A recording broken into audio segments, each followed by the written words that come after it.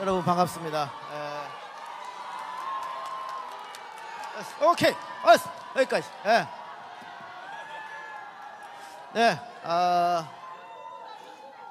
그- 그렇지. 이재명 대표 각오 없는데 이재명을 불러, 이동형을 불러야지. 예? 예.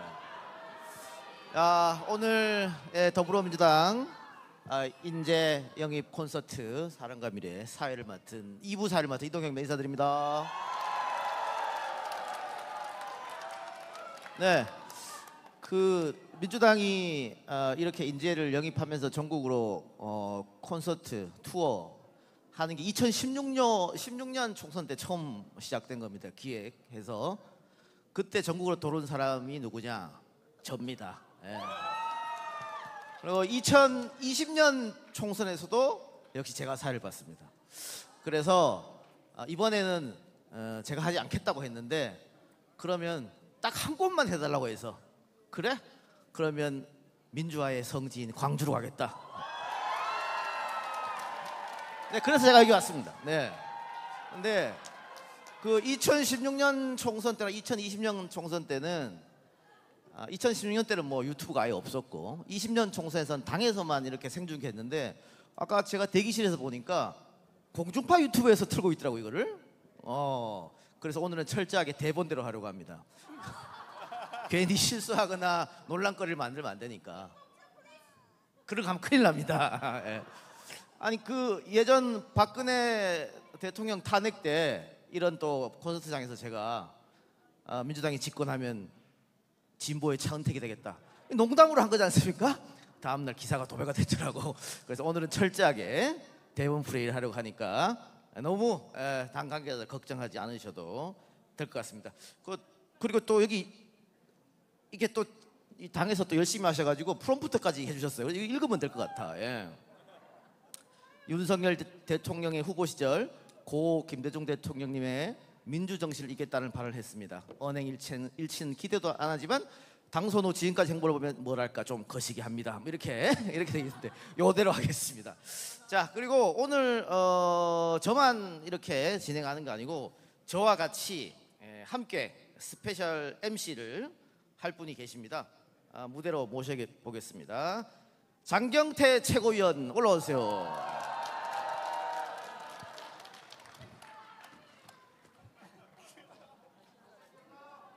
네. 얼굴이 빨개져서 부끄러워요. 아니, 거창하게 소개해 주셔서 어. 네, 이 거창한 곳에 누추한 사람이 와서 죄송합니다. 네. 어떻게 어, 이런 자리는 많이 가졌었네 그동안 당원들과의 대화라든가. 뭐 어, 여기저기 불려 다니긴 했죠. 네. 우리 이렇게 꽉 찬 어 그러게요. 호르- 저희 예. 전당대 때 기억하시겠지만 예. 이제 대표님 모시고 이 소통 콘서트 많이 했었으니까요. 네. 네. 또 오랜만에 하니까 더 반갑습니다. 다시 한번 각오 한번 밝혀주시기 바랍니다. 오늘 네. 이말 각오.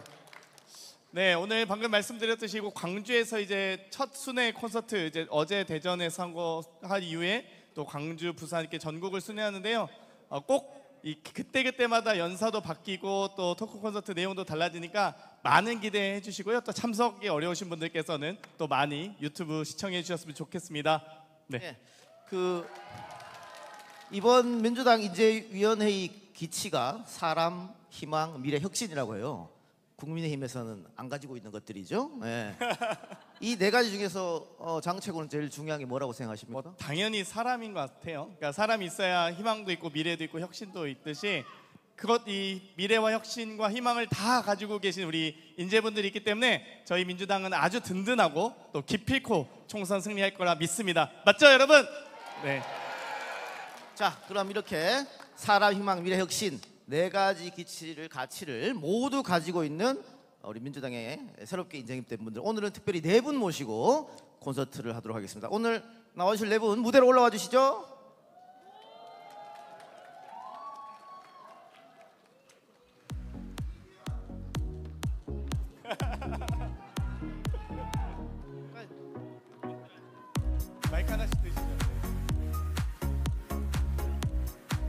저희도 앉을까요? 네.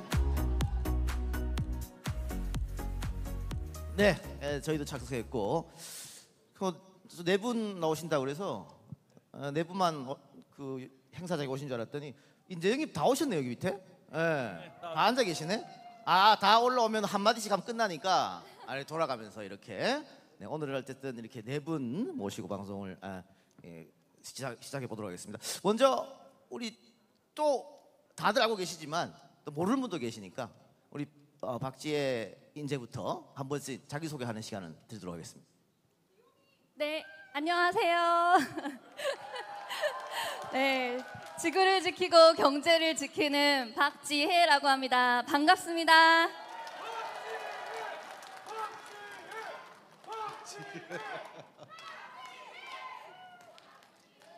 네, 하세요. 네. 네 안녕하십니까 인재영입 5호 강청희 인사드리겠습니다.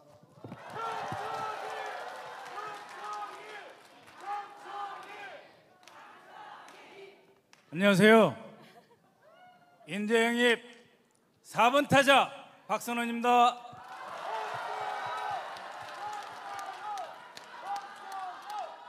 안녕하세요. 인재영입 9호 공영훈입니다.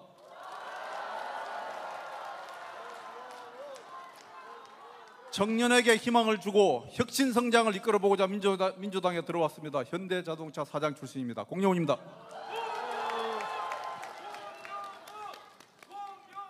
예. 자, 박지혜 변호사는 민주당 인재 영입 1호인데 또 1호가 상징성이라는 게 있지 않습니까? 또 부담도 됐을 테고 그 처음에 제안 왔을 때 어떤 생각이 드셨는지.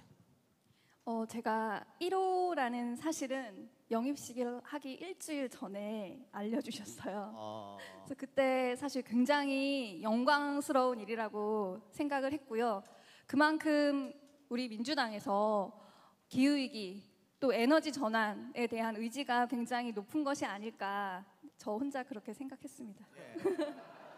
그 관련돼서 재밌는 그 여론조사가 있었어요. 어, 이번 총선에서 어느 정당이든 기후에 대한 좋은 정책을 내놓으면 지지할 의향이 있느냐, 투표할 의향이 있느냐 이런 여론조사였는데 꽤 많은 사람이 지지할 의향이 있다고 대답을 했더라고요. 장경태 최고. 그만큼 우리 국민들도 이제 여기에 대한 관심이 많아졌다 이렇게 볼 수 있겠죠? 이제는 뭐 아리백, EU 텍소노미 이런 단어를 모르시는 국민이 없다고 생각했는데 딱 한 명 모르시는 국민이 있더라고요. 네, 저는 누군지 말씀드리지 않겠습니다만 우리 박재 변호사님 인재영입 1호인이만큼 지구의 위기를 기회로 만들 수 있는 아이디어가 있다고 하시던데 어떤 것들이 있을까요? 네, 제가 영입식에서도 말씀을 드렸는데요. 우리나라가 화석연료 사용을 빠르게 줄이고 그 빈자리를 재생에너지로 빠르게 채우는 일이 굉장히 중요합니다. 어, 우리 재생에너지 산업을 키우기 위해서 전 세계가 그리고 전 기업들이 경쟁을 하고 있고요. 어, 이러한 정- 산업을 지원하는 재생에너지 확대 정책 그리고 재생에너지가 있는 곳에 또 산업을 유치하도록 하는 그런 탈탄소 산업 정책 그리고 기후 정책 등이 굉장히 중요할 것 같고요. 이런 것을 저희 민주당에서 한번 실현해 보고자 제가 이렇게 들어왔습니다. 어, 저희 민주주의의 위기를 극복한 정당이 민주당이잖아요. 이렇게 힘 있는 민주당이야말로 기후 위기도 극복할 수 있는 그런 저력이 있다고 생각합니다. 그래서 선배 당원 동지 여러분들과 함께 기후 위기 극복을 위해서 열심히 뛰어보도록 하겠습니다. 근데 뭐 소위 말해서 어, 좋은 대학 나오고 좋은 데 취업하고 했는데 갑자기 어, 내가 기후를 위해서 이 지구를 위해서 한번 움직여 봐야겠다 그런 생각은 어떻게 하신 거예요? 어, 제가 기업에 있을 때도 사실은 이제 요새 ESG라고 하는 사회 책임 경영 담당자로 일했습니다. 그러면서 회장님도 모시고 유엔 회의도 가보고 또 우리가 돈을 벌- 벌면서 기업이 지속 가능 발전을 위해서 기여할 수 있는 게 뭐가 있을까 그런 기획도 해보고 했었는데요. 그런 일을 하면서 기업이 그렇게 쉽게 바뀌지 않는구나라는 생각을 했었고 그 이유는 결국은 좋은 일을 해도 돈을 많이 벌 수 있는 그런 환경이 만들어져야 되는데 아직 우리 사회가 그게 많이 부족하구나 그런 걸 깨달았습니다. 그래서 그런 환경을 기업, 기업 환경을 법과 제도를 통해서 만드는 일이 굉장히 중요하겠다고 생각을 해서 그래서 기후 변호사로 일하게 됐습니다. 우리 공영훈 사장님은 대기업에 계셨잖아요. 네. 대기업하고 기후하고는 또 잘 안 맞는 것 같은데. 요새 대기업도 이 기후 변화 적응 못하면 앞으로 물건 팔아서 해외 수출 못합니다. 맞습니다. 우리 대통령께서 이걸 좀 알아주셔야 될 것 같은데. 글쎄 말입니다. 예, 그만큼 중요해졌다라고 생각하고 또 민주당도 이 문제에 대해서 관심이 많기 때문에 예, 상징성 있게 우리 박지혜 변호사를 인재영입 1호로 한 게 아닌가 그렇게 생각합니다. 뭐 의원님들도 같은 생각을 많이 갖고 계시죠? 네, 방금 이제 우리 공사장님께서 말씀하셨듯이 ESG, 경, ESG 경영은 이제 이번 요즘에 기업에서 기본적인 어떤 핵심 가치가 되고 있는데 또 아리백이나 EU 텍소노미 지키지 않으면 수출이 어렵잖아요. 그런데도 불구하고 한 분이 모르셔서 그분을 좀 일깨워주기 위해서 우리 두 분의 인재들께서 더 큰 역할이 필요한 것 같습니다. 그러니까 지금 에, 나라를 위해서는 참 이러면 안 되는데 이 정부가 너무 못하고 있고 대통령이 아무런 역할을 못하고 있으니까 오히려 우리 민주당 인재 영입들이 더 빛을 발하는 것 같아요. 완전 차이가 이게 많이 나니까 지금 어, 우리 박선은 우리 외교안보 전문가로 이제 인재 영입을 당해서 했는데 아니 윤석열 대통령 취임하고 중국, 러시아, 우크라이나, 일본, 미국하고 하는 외교 한번 보십시오. 답답해서 말이 안 나올 정도잖아요. 어떻게 평, 어디 아, 외교안보 전문가를 어떻게 평가하고 계십니까? 이거를 이제 국익 실정 외교. 대한민국이 어디에 있고 대한민국이 누구고 본인이 무슨 일을 해야 될지 모르는 거죠. 방향 감각의 살- 상실, 실종 그것이죠. 그래서 나갈수록 손해 보는 장사를 하고 있습니다. 나갈수록 국민이 창피합니다. 나갈수록 대한민국의 안보가 오히려 위협을 받습니다. 그런데도 해외 순방을 합니다. 왜 할까요? 우리나라에도 명품 옷, 백 살 때 많이 있습니다. 그만 나가시죠.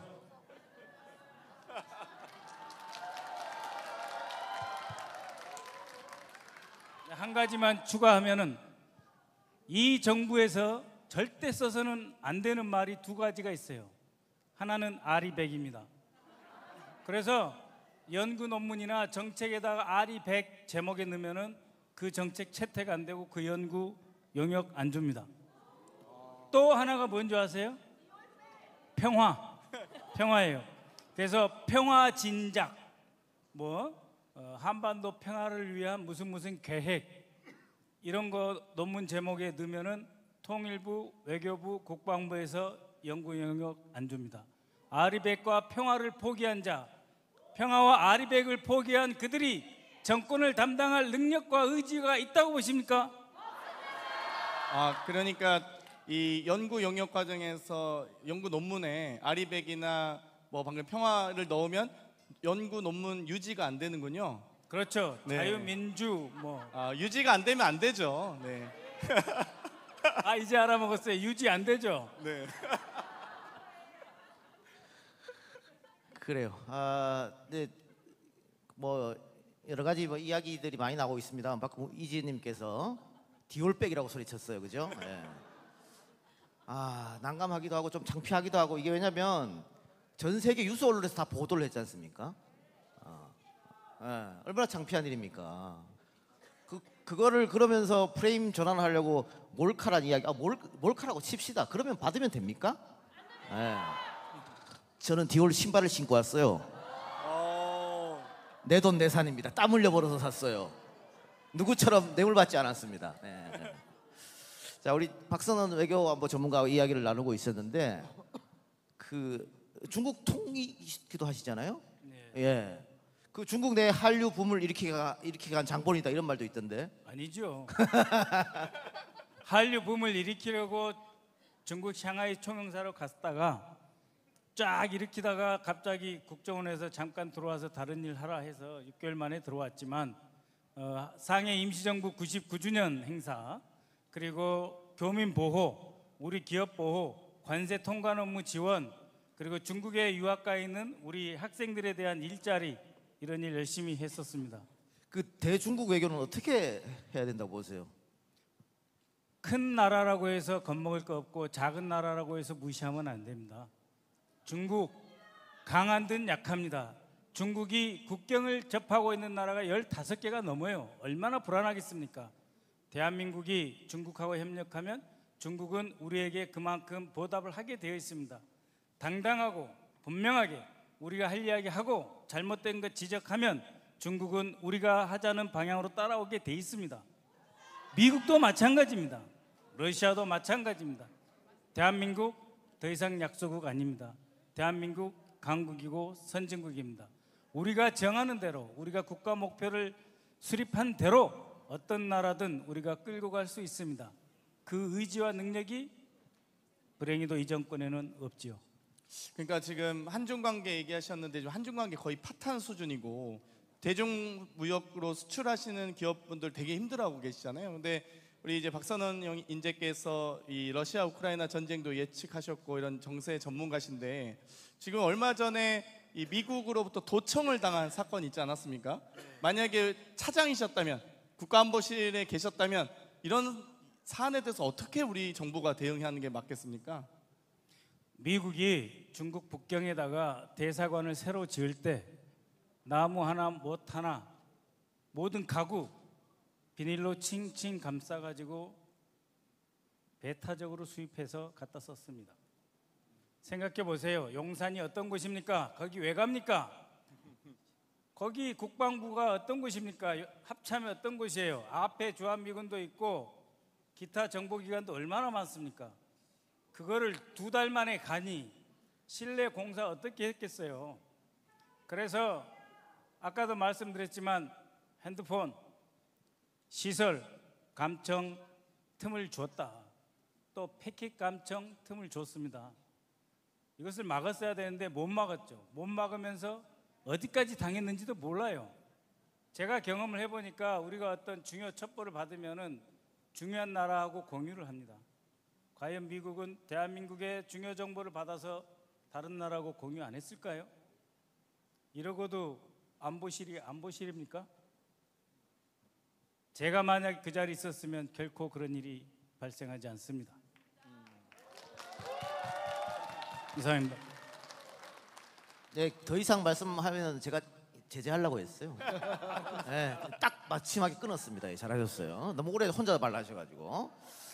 자, 다음 이제 에, 우리 보건의료 지킴이 강청희님 소개해드릴 텐데 우리가 어, 지난 총선에서 정말 대승을 했었지 않습니까? 뭐 여러 가지 이유가 있- 아 그때 들어오신 분이고 예, 승리해서 대승을 했는데 여러 가지 이유가 있겠지만 코로나를 너무 잘 방어했다. 그걸 외신에서도 극찬이 쏟아지고 뭐 그랬었잖아요. 에, 그, 그만큼 중요한데 뭐 안철수 의원이 어, 과학 방역을 한다 그러고 뭐 어, 윤석열 대통령도 그런 얘기 했었는데 철저히 지금 무시하고 어, 밑바닥 의료계는 붕괴돼 있다 뭐 이런 얘기가 들리고 있잖아요. 그래서 이, 이분의 또 역할이 굉장히 예, 중요한 것 같습니다. 의사협회 부회장까지 하시다가 일선 보건소 소장으로 자진해서 가셨다고 그 이유가 있을 것 같은데요. 뭐 좀 길게 말씀드릴까요? 아, 하세요. 네. 하- 한마디도 안 하셨으니까 하셔도 네. 저는 원래 아까 좀 설명드렸지만 흉부외과 의사입니다. 그 처음에 한 13년 동안은 흉부외과 수술만 했습니다.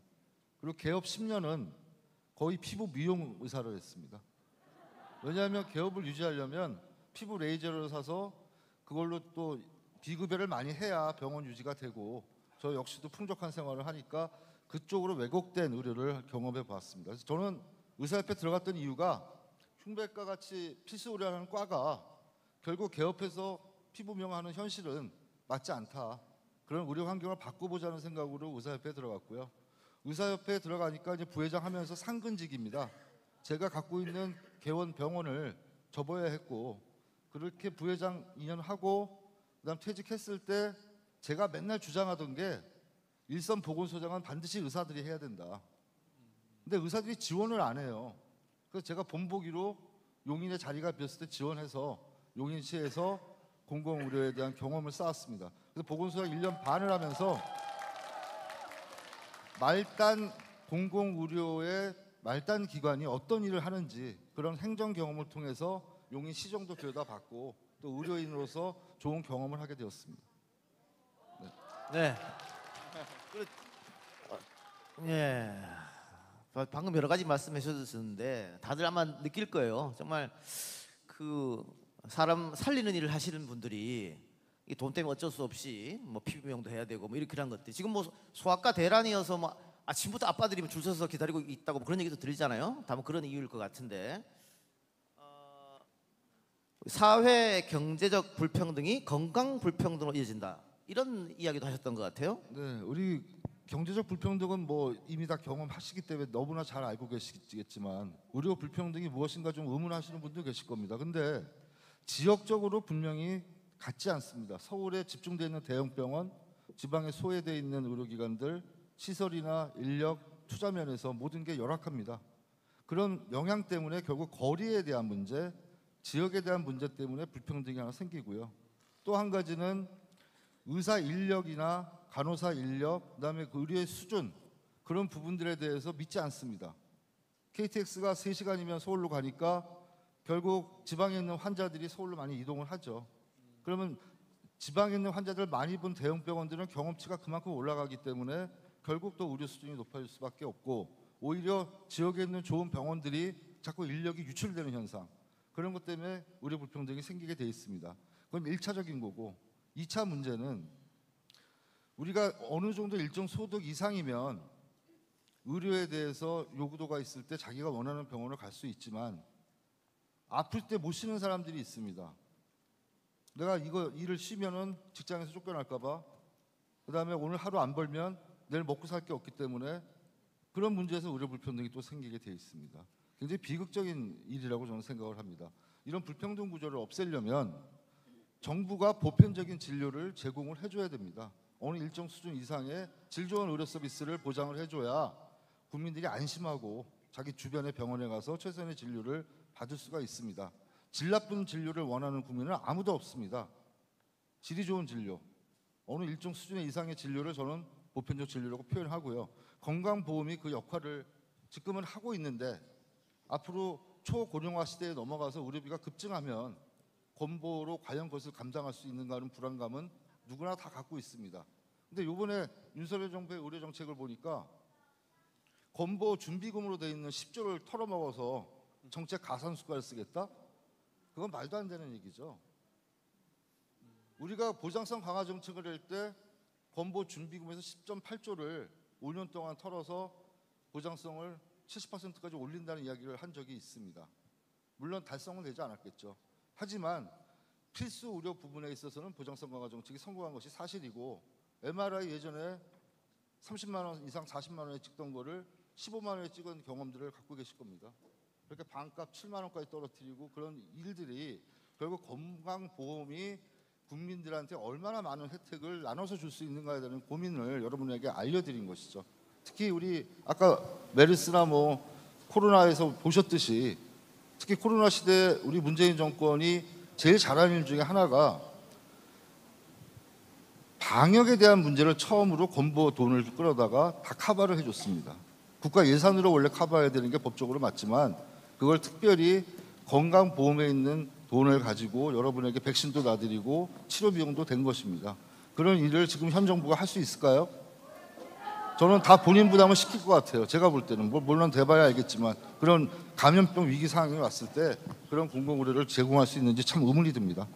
그래서 제가 이런 건강 불평등을 해결하기 위해서는 의료에서 공적 영역을 보다 더 강화시켜야 된다. 그다음에 의료 인력도 의사뿐만 아니라 전체 보건 인력 차원에서 확충해야 된다.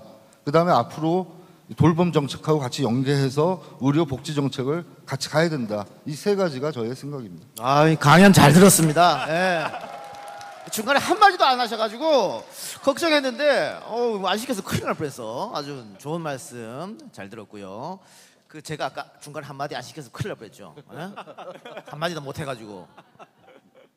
그래요. 자 이제 이분은 다 아시죠, 그죠? 예, 현대자동차 사장을 하셨던 분인데 어, 학창 시절에 농사 지으면서 공부하셨다고요?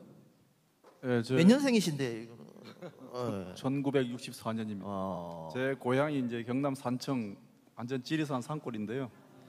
완전 생촌놈입니다. 저는. 근데 고- 이제 고등학교를 진주로 나갔는데 제가 고등학교 1학년 때 짜장면 처음 먹어봤습니다. 어, 그러세요. 어, 어.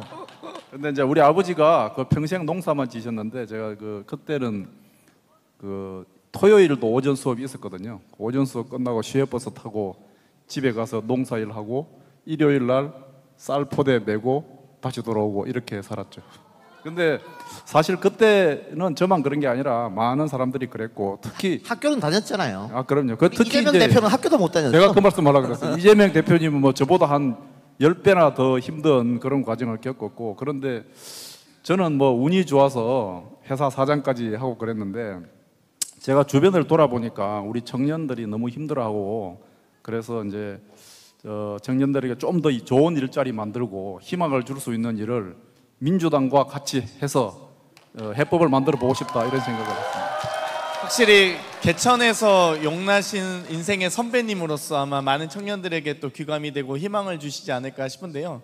특히 이곳 광주 아까 뭐 의원님께서도 말씀하셨는데 광주형 일자리에 관심도 많으셨고 거기에 산파 역할도 하셨다고 하는데 그 일화를 좀 설명해 주시죠.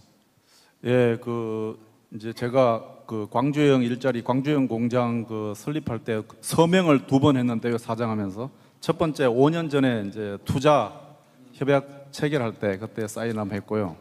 3년 뒤 이제 2년 전이죠. 첫 차가 나올 때 첫 차 맨 앞유리에 공영훈 이렇게 사인해 가지고 지금 그 차가 여기 빅그린 산단 공장에 잘 보관되어 있습니다. 아, 광주하고 아주 인연이 깊네요. 예. 그 사장하면서 우리 광주 시민들을 위해서도 좀 보람찬 일을 하나 했습니다. 예. 그 아까 중국 얘기를 잠깐 하셨는데 그 현, 자동차도 중국 시장이 어마어마한 거 아닙니까 사실은? 그렇죠. 제가 한 10여 년 전에 중국에 여행을 간 적이 있었는데 그때도 현대자동차 특히 택시는 굉장히 많았었거든요. 근데 지금은 또 사정이 안 좋다 이런 얘기도 들리던데 지금 뭐 거의 반토막도 더 쪼그라들었죠. 예. 어떻게 풀어야 될까요? 답이 잘 없는데요. 지금 뭐 중국도 반토막 나고 러시아는 문 닫았고요. 문 닫았고요. 예, 예. 이런 것도 다 외교의 문제이기도 한데 뭐 예 취임하자마자 중국을 무시하고 뭐 그렇게 했으니까 예 그런 일이 벌어진 것 같습니다. 아, 또 질문 없으세요? 우리 장경태 최고는? 아니 이제 아무래도 대기업 출신이다 보니까 이 대기업에 너무 프렌들리하지 않을까? 어, 여러 가지 이 대기업 사장 출신 인재분들이 갖고 있는 뭐 여러 가지 편견들이 있을 것 같은데요. 거기에 대해서 우리 당원들께 어, 좀 설명과 어, 또 변명할 시간을 좀 드리도록 하겠습니다. 예. 제가 그 영입 기자회견 할 때 기자들도 그 질문을 많이 하시더군요. 왜 대기업 사장 출신이 민주당에 들어왔냐고. 그 이제 그런데 그 저는 아까도 말씀드렸지만 그 우리가 이제 그 옛날하고는 좀 달리 너무 저성장 국면에 들어간 게 앞으로는 상당히 고통의 원인이 될 거라고 저는 생각을 합니다. 그래서 성장의 모멘텀을 찾아야 되고요. 거기서 청년들에게 기회를 열어줘야 된다 이렇게 생각을 합니다. 그런데 이제 사실 뭐 여러분 1.4%그 수치 많이 들어보셨죠? 작년 성장률이거든요. 그 그런데 6.25 한국 전쟁 이후 평상시 기준으로 그게 최저치입니다. 근데 앞으로 이렇게 계속 가면은 정말 청년들한테 희망을 줄 수가 없습니다. 근데 이제 우리 이재명 대표님과 민주당에서 그 3%를 앞으로 지속적으로 성장하는 그런 경제를 만들겠다 이렇게 공약을 했고 저도 거기에 찬동합니다. 거기에 힘을 보태보고 싶다 그런 생각을 했고요. 알겠습니다. 자, 아, 토크 콘서트는 이제 여기서 좀 마무리하고 우리 어, 오늘 참가해 주신 당원 여러분들께서 이렇게 소원 트리를 양쪽에 했습니다. 그 네, 아, 다섯 분이서 하나씩 뽑아서 답변할 시간을 드릴 테니까 그 사이에 저는 밑에 내려가서 그 다른 영입 인재들 잠깐 만나보는 시간을 예. 네. 뭐 이지은 팬 난 이지 팬. 어. 자, 아, 우리 유산명 총경 오창석의 사랑. 알겠습니다. 앉아 계세요. 예. 그런데 우리 어, 이재성님은 그 부산 안 가고 여기서 뭐 하세요? 빨리 가서 운동해야지. 예, 내일 조경태작으로 사흘 갑니다. 예. 열심히 하시기 바랍니다. 자, 민성 민생 경제 전문가 김다곤 의원 한마디 하세요.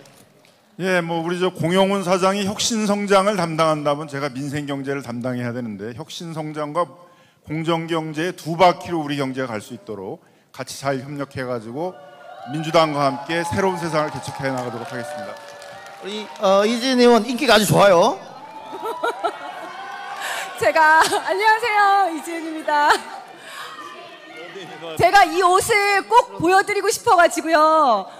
원래 긴 옷이었는데 제가 요즘은 이렇게 짧은 옷이 유행이거든요. 제가 수선을 했어요. 네. 당원 여러분들께 꼭 보여드리고 싶었습니다. 그리고 제가 어, 경찰국 설치에 반대했다는 이유로 좌천이 되었는데 그 좌천된 곳이 바로 전남입니다. 네, 그때 전남에 와서 그러나 저는 외롭지 않았습니다. 자연이 아름답고 음식은 맛있고 사람들은 너무나 따뜻했습니다. 여기서 호남의 정신을 배울 수 있었고 오늘 다시 여러분들을 뵙게 되어서 너무나 반갑고 감사하고 네, 영광입니다. 네. 예. 오늘 선글라스는 안 끼셨네. 예. 자, 그 아니 저 저랑 같이 방송하는 친구가 그 초등학교 교사 출신이었거든요.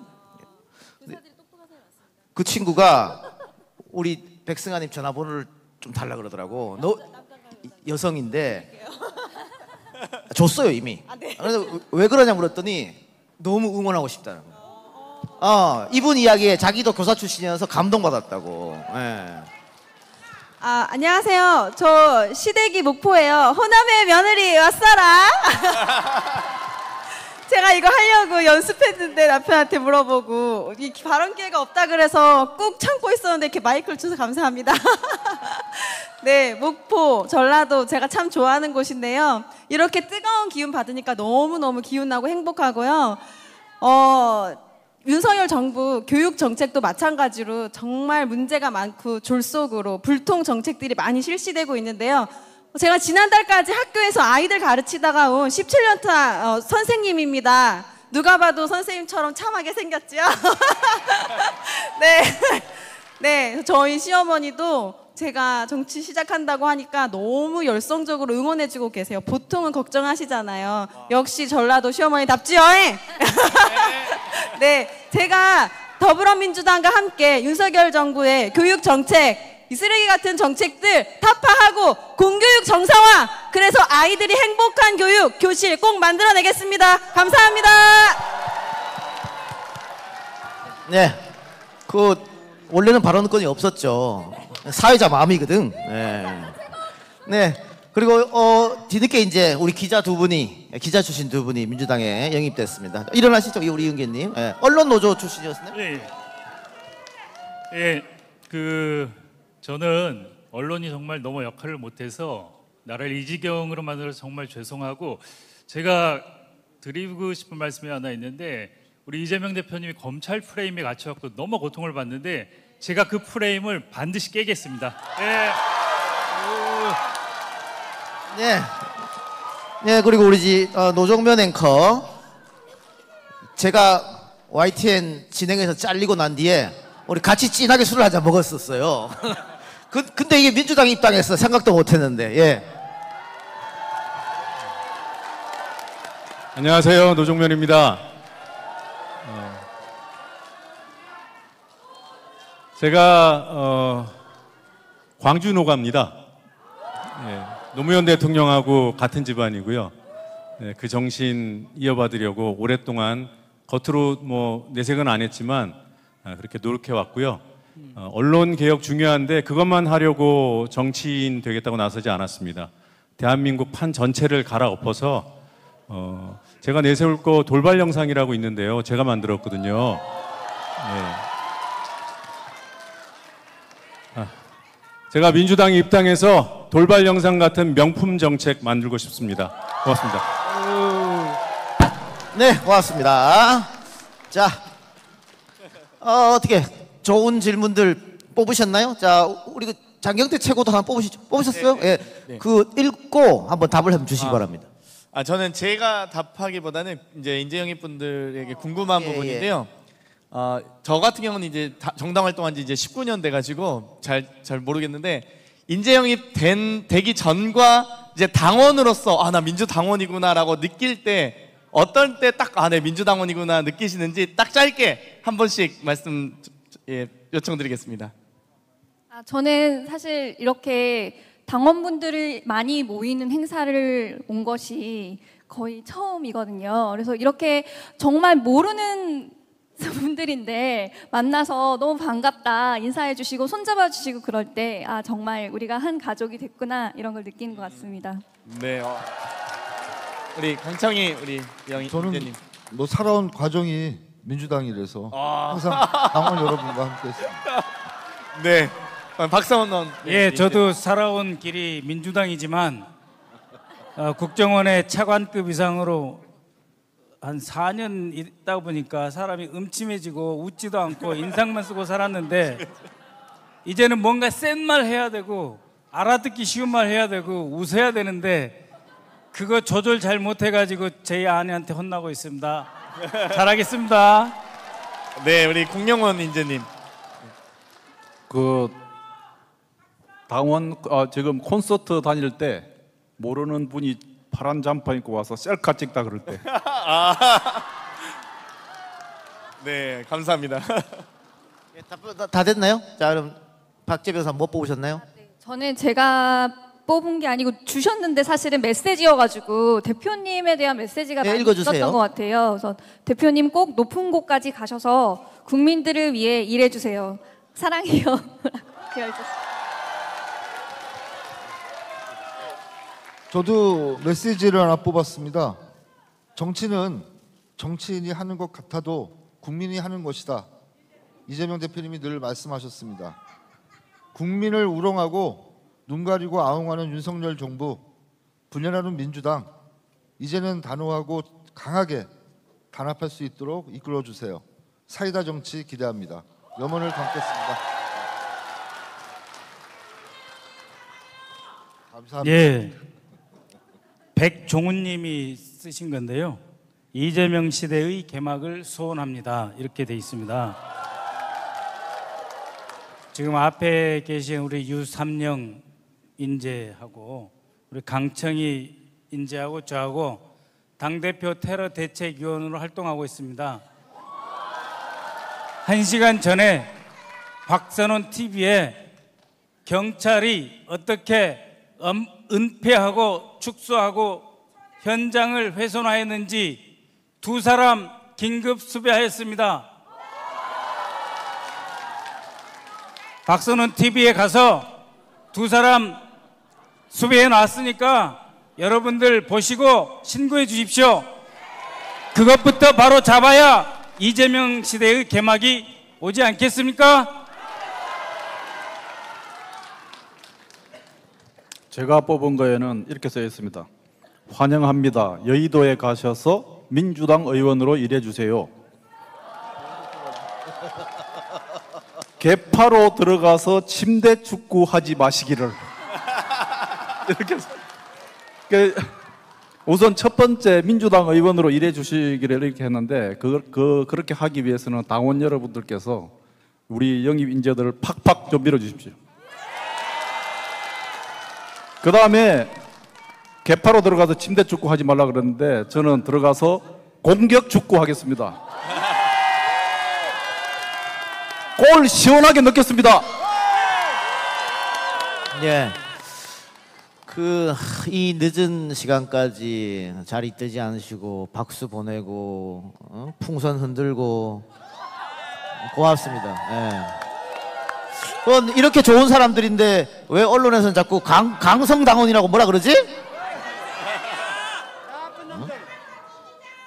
그래요. 예. 국민이 있어야 나라가 있는 곳이고 당원이 있어야 당이 존재하는 거지요. 네. 당원의 의견을 존중하는 민주당이 됐으면 좋겠고 아마 그렇게 될 겁니다. 네. 또 많은 분들 염원 염원처럼 어, 어, 이재명 대표가 더 큰 정치, 더 나은 정치하기를 바라면서 오늘 토크 콘서트를 마치겠는데 어, 지난번에는 한 10분이 다 올라와서 짧게 했었는데 오늘은 그래도 약간 좀 길게 해서 뭐 하고 싶은 말 좀 하셨던 것 같아요. 어, 어떠셨어요? 아 좋았습니다. 네. 한마 마지막 한 마디씩 해주세요. 예, 민주당 승리 여러분이 있어서 가능합니다, 여러분. 네, 저도 뭐 이 민주의 성지 광주에서 우리 민주당이 승리할 수 있도록 많은 지원 부탁드리면서 승리 한번 외쳐보겠습니다. 승리! 네, 저희 이번이 세 번째 인재 콘서트인데요. 정말 광주가 최고인 것 같습니다. 광주 최고! 예, 장영태 최고도 저도 구, 구호 하나 해도 됩니까? 예 하세요. 광주는 미래다를 하겠습니다. 광주는 하면 미래다 해주십시오. 광주는 이래나 네. 아, 이 한 분 한 분 정말 짧은 시간에 예고편처럼 토크 콘서트 했는데요. 아마 한 분 한 분 두 시간을 해도 어, 부족할 것 같은데 이분들 열심히 일할 수 있도록 기회 주실 거죠, 여러분? 한번 4년간 부려먹어 봅시다. 감사합니다. 네 고맙습니다. 감사합니다.